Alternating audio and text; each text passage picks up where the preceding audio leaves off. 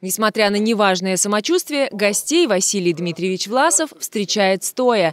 Ветерану Великой Отечественной войны 7 января исполнилось 96 лет.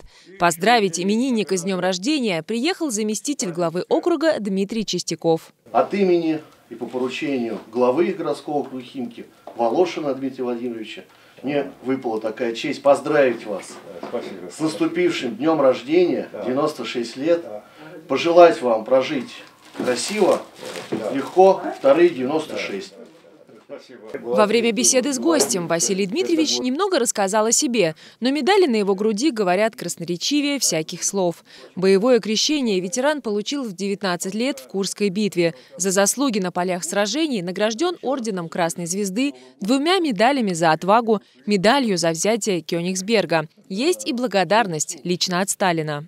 Заслужили похвалу и благодарность Верховного Главнокомандующего правительственной наградой, э, удостоверяетесь правительственной награды Ордена Боевой Красного, Боевого Красного Знамя. После окончания войны Василий Дмитриевич прослужил еще два года на территории Германии. В 1947 был демобилизован из армии. В Химках обосновался в 50-х годах и уже до пенсии работал на местном заводе «Энергомаш».